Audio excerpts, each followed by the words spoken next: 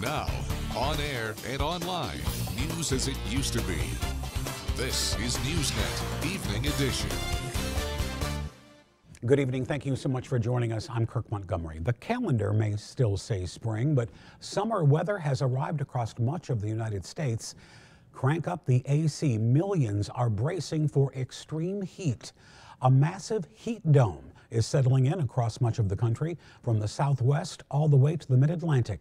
Many places will be flirting with, if not exceeding, triple digit heat. And for some, high humidity will make it feel even hotter. The heat's arriving this weekend and will last until the middle of next week. But it's not only the heat we're watching, there's also the threat of severe weather and more heavy rain in the south. Now, for tonight, temperatures are on the cooler side. Senior meteorologist Barack Shapiro keeping a close eye on conditions as they develop. Hi, Barack. Hey Kirk, good evening. Let's start you off with your Sunday morning temperatures. Very nice for Seattle and Portland with mid 40s. Also pretty nice for the Great Lakes, Midwest and Northeast with 50s and 60s with 55 in Boston. Now, as we look ahead to next week, we've got a dome of high pressure setting up. It is going to bring incredibly hot temperatures with the potential for record heat, and it is going to last through a good chunk of the week. So over the next hour, we'll talk about just how hot it's going to be. Kirk, back to you. All right, Barack, thank you. As this extreme heat ramps up, health officials are reminding people just how deadly extreme heat can be.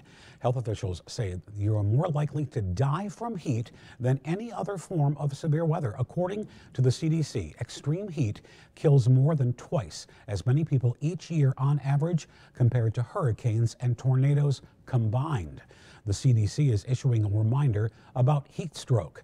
Some of the first signs include exhaustion, nausea, dizziness, headache, heavy sweating, and cool, clammy skin.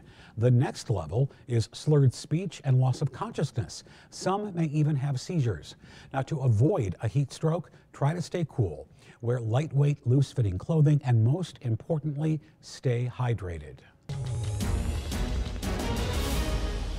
Overseas now, Israel reeling after the deadliest attack on Israeli forces in recent months. Israeli officials say eight soldiers were killed in an explosion in southern Gaza today. This comes as talks on a potential ceasefire continues to stall. Global leaders are endorsing the deal that would release hostages and end the fighting in Gaza, but U.S. leaders say Israel and Hamas still remain far apart on certain issues. It's still unclear what impact today's events may have on those truce talks. According to Palestinian health officials, nearly 40,000 Palestinians have died in the war, and more than 2 million people have been forced from their homes. To Ukraine now, a plan towards ending the war in Ukraine could be on the horizon. Today, Switzerland is hosting world leaders from more than 100 countries who say they are dedicated to mapping out a way for peace in Ukraine. Noticeably absent, however, will be representatives from Russia and China. Still, Ukrainian President Zelensky says he hopes for a historic outcome of this meeting. Zelensky has been leading a diplomatic push to bring leaders together to support a 10 point peace formula he put together in 2022 to end the war. Vice President Kamala Harris is attending and is expected to deliver an address during the two day meeting. And also in Ukraine, consumer drones, much like the ones you may have at home, are completely changing the front lines. But could something so simple be Ukraine's secret weapon against Russia's powerful arsenal? Newsnet international correspondent Ryan Thompson files this report. In Ukraine's fight against Russia, it's about doing more with less. High in the sky, drones have been deployed on an unprecedented scale not just tracking enemy troops, but also targeting them without risking Ukrainian lives. Consumer drones like this have completely transformed the battlefield, and it all boils down to cost. For as little as 500 or $1,000, soldiers can load these up with explosives, send them across the front lines, ultimately destroying Russian tanks like this worth millions of dollars. Ukraine says it's aiming to produce over 1 million drones this year, prompting a bustling startup sector of its defense economy focused exclusively on aerial warfare. A drone is effective because it's flexible. You can stop or change your mind at any time while using it. Maybe decide not to target a tank and hit the nearest trench soldiers instead. When you use missile weaponry, you have to have a very clear understanding and purpose in mind. You are attaching to smaller drones. Andriy Stepa has seen his hobby drone business become a major military contractor overnight. In addition to repurposing consumer models that anyone can buy, it also produces FPVs that carry grenades and other munitions, which are designed to be destroyed after launch. Nearly all units deployed to the front have them on hand. Everyone, even a regular sergeant or officer, is somehow involved with the system and forced to study it. It's become a standard equipment package for any military personnel, just like a bayonet, pistol, or bulletproof vest.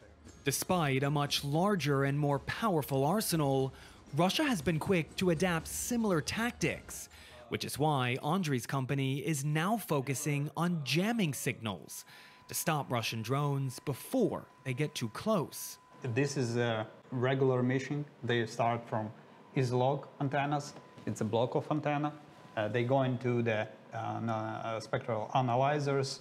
And when drones do fall on the battlefield, they are recovered and sent to the drone hospital. Equipment is all too precious in this war, and nothing is ever wasted. Broken or damaged or shot down. Sometimes it's a trophy drone found by our guys. They pass them on to us. We remake them in a way that they can work here on our territory. Everything can be fixed and back in shape to provide assistance to our men. With no end in sight to the war, the drone repair shop is a non-stop operation. But even these guys know it's nothing compared to Moscow's military muscle. In Kiev, Ukraine, I'm Ryan Thompson for Newsnet. In Oregon, thrill seekers got more than they expected when they got stuck dangling upside down on an amusement park ride. Take a look. Terrifying scene emergency crews rescuing 28 people from this ride. After swinging in the air, park staff say the ride just stopped for about 30 minutes before maintenance workers manually lowered the ride to the ground. One rider with a pre existing medical condition was sent to the hospital as a precaution, and emergency responders checked out all of the other riders, but no injuries have been reported. And we are learning new details about the investigation into that ill fated Titan implosion. The United States Coast Guard says it will take longer than expected for a report to be released. Nearly one year ago, on June 19th, five people died when the Titan imploded while en route to the wreckage of the Titanic. The Coast Guard says the delay of the investigation is because they're working to complete salvage missions to find evidence and test it. They are continuing to work with domestic and international partners to understand what exactly happened. With less than two weeks to go before they meet in Atlanta for a televised debate, both President Biden and former President Trump are on the campaign trail this weekend. After flying overnight from the G7 summit in Italy, President Biden is in Hollywood for tonight's fundraiser featuring former President Barack Obama, actors George Clooney, Julia Roberts, and late night host Jimmy Kimmel. The Biden campaign says the event at the Peacock Theater has raised $28 million. That's a new record for Democrats. Meantime, Donald Trump will be in the battleground state of Michigan today for back to back appearances in Detroit at an African American church, followed by a keynote address at a conference run by the conservative nonprofit Turning Point Action. For the very first time since being diagnosed with cancer, Princess Kate appearing in public. The Princess of Wales says she is making progress in her treatments and made an appearance at a military ceremony alongside her family in London. Members of the royal family, alongside King Charles, are uniting for the annual Trooping of the Colour ceremony. Newsnet correspondent Ali Barrett is in London with more on the ceremony and what is ahead for the Princess of Wales.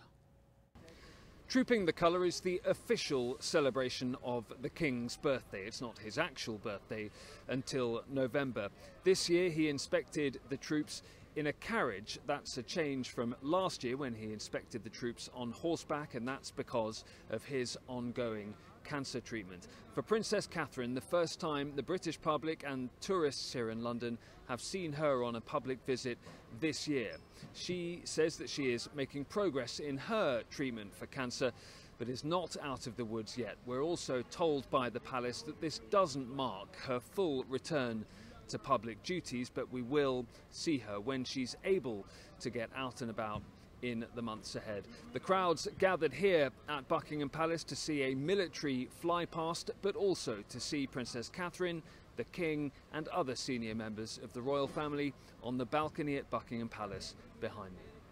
Ollie Barrett in London for Newsnet. This week's travel report transports guests to a night of luxury, and a Disney theme park is giving a sneak peek of one of their new attractions. Newsnet's Madison Schlegel with a closer look.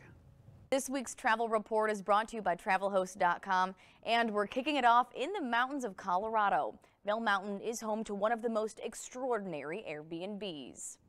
This is the Forest Retreat nestled into the mountains and covered by snowy hills. But the second you step inside, guests know why this spot is topping lists. A new study by Wealth of Geeks calculates the most luxurious and expensive places to stay. And this year, topping the list, the Forest Retreat earns the spot as the most expensive Airbnb in the country.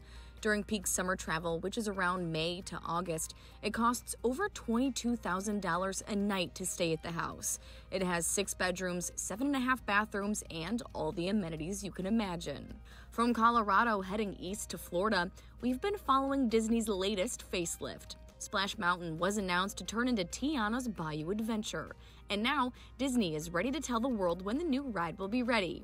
Starting June 28th of this year, guests can transport themselves back to the 1940s in New Orleans.